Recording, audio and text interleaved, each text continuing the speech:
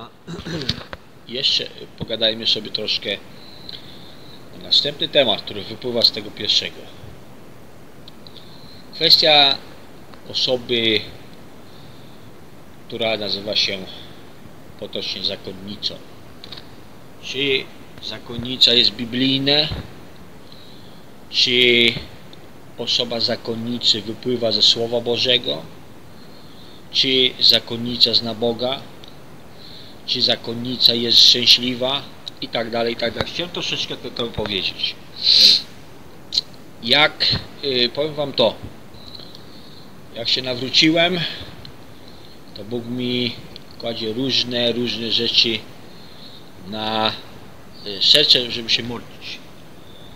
Jedna z takich grup, o które dużo, dużo się modliłem, dużo starałem się tych rzeczy obnażać odnośnie tych rzeczy, jest właśnie kwestia, wiecie, ludzi niezbawionych, którzy są zamknięci w systemie katolickim.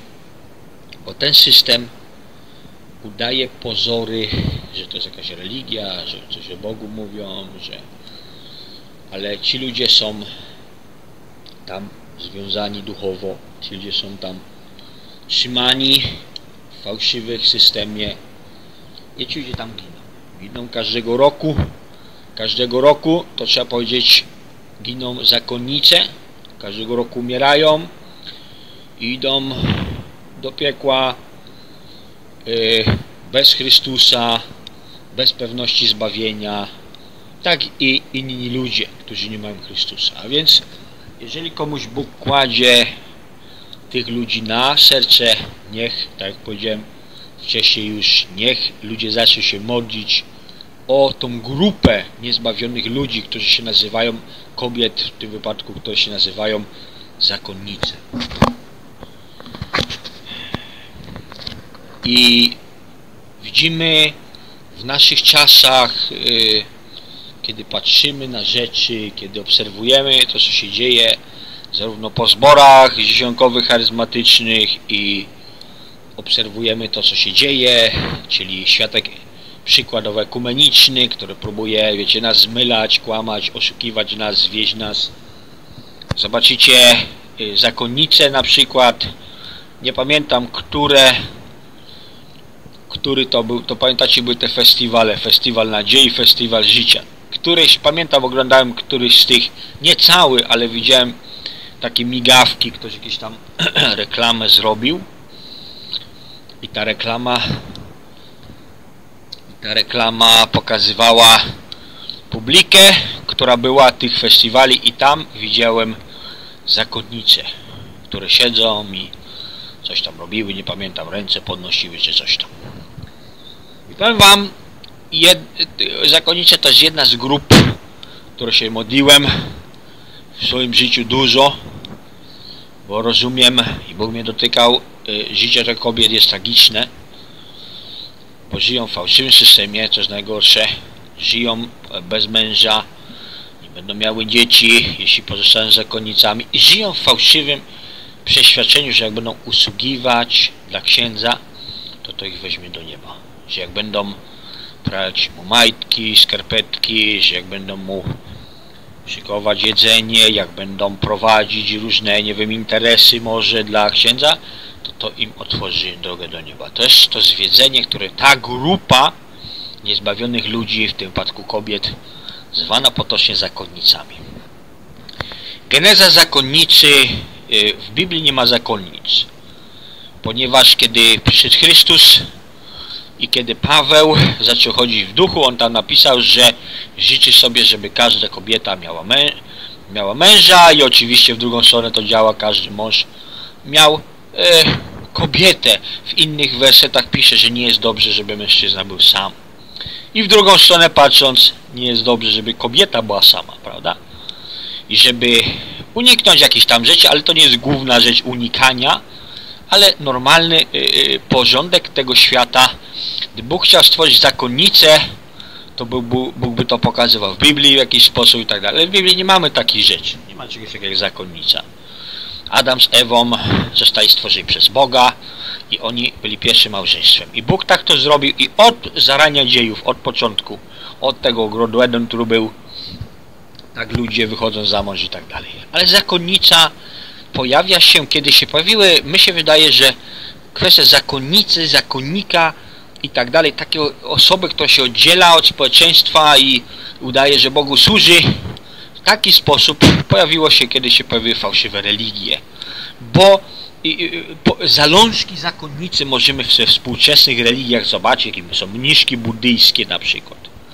Mniszki buddyjskie to mógł być jeden z prekursorów zakonnicy. Co jeszcze widzimy, kiedy wiemy, że y, rzymskokatolicyzm wywodzi się, i to jest historycznie, każdy może sobie to w historii zobaczyć, wywodzi się z Imperium Rzymskiego. Było sobie Imperium Rzymskie i wiemy jak Pan Jezus tam był y, w, w Izraelu, to y, Imperium Rzymskie było tym, które okupowało. Pan Jezus oczywiście nie ma nic wspólnego z Rzymem. Pan Jezus nigdy w Rzymie nie był, nie wybierał się, ale Rzym jest taką, była jedną z taką stolic bałwochwalstwa. Kiedy się przyjrzycie religii Imperium Rzymskiego, to było jedno wielkie bałwochwalstwo. To były, to były kalendarze ciągnące się nieskończone jakieś festiwale, jakieś obrządki, jakieś tego typu rzeczy. Y, przez każdy miesiąc masę tego było. Przyjrzyjcie, może kalendarz taki na internecie znaleźć, co ci Rzymianie tam y, z Imperium Rzymskiego czcili. I jedną z y, osób, które się takie pojawia, która, gdy zobaczycie jak to wygląda, to zobaczcie, że to wygląda jak zakonnica. Westalki. To były kapłanki, specjalnie oddzielone, tylko to troszeczkę inaczej niż zakonnica, ale wiecie, współcześni i, i, i ówcześni y, tworzyciele tego systemu rzymskokatolickiego, oni sobie tam świecie podobierali, po, po, po, po przemianowali tak, żeby im było dobrze. I Westalka pełniła taką funkcję przed y, boginką w tym wypadku i oni, one tam były oddzielone i one tam, wiecie, służyły rzekomo dla jakiejś tam bogini.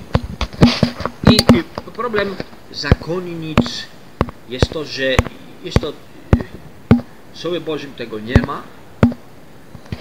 W Słowie Bożym, tak już powiedziałem, Biblia mówi, aby kobieta wyszła za mąż. Jest wolą Boże, że kobieta była sama. Bo Bóg tak stworzył, czemu? Bóg tak stworzył ten świat. I historycznie, kiedy padło Imperium Rzymskie, to za Konstantyna Konstantyn dokonał takiego, takiej mikstury, połączył, co było y, system Rzym, rzymskiego imperium, połączył z jakimiś tam elementami jakiś, przepraszam, religijnymi i z takiej mikstury wyszedł, rzymski katolicyzm przesądami, naukami ludzkimi i on się rozwinął, rozwinął przez setki lat, dodawali, dodawali i w pewnym momencie jest coś takiego jak zakonnica się pojawia. Możecie to sobie w historii znaleźć. Pan Jezus nie znał zakonnic, Paweł nie znał zakonnic, pierwsze chrześcijaństwo nie znało zakonnic i powiem wam, te y, osoby jako zakonnice to są Y, dziewczyny wabione przez rzymski katolicyzm, jak są dosyć młode, wiecie, rzymskokatolicy im piorą głowę, że to jak będzie, jak założę, wiecie, tą, tą, tą wiecie, ten jej strój i przyjmą te różne śluby, to one teraz będą Bogu rzekomo służyć. W rzeczywistości zakonnice, tak jak powiedziałem, y, darmowa siła robocza, jest to fałszywe obietnice, jest to fałsz, kłamanie, że one się zbliżą do Boga. W rzeczywistości te zakonnice są nieszczęśliwe. Te zakonnice całe życie spędzają służąc jakimś księżom, którzy żyją, wiecie, w, w, w przepychu. One służą, niektóre z nich, które przyjęły takie, takie e, święcenia, one są, żyją w totalnym ubóstwie, żyją w dziadostwie i takie życie nie przybliża do Boga. Takie życie powoduje duchową degradację. A więc y, jako ludzie, którzy poznali Boga, czyli my, protestanci Duch Święty, my musimy modlić się o te osoby, które są zakonnicami albo się wybierają, żeby być zakonnicy, żeby Bóg ich uchronił od tego, żeby Bóg ich wyciągnął stamtąd, żeby mogły poznać prawdziwego Jezusa, a nie obędzie się bez modlitw naszych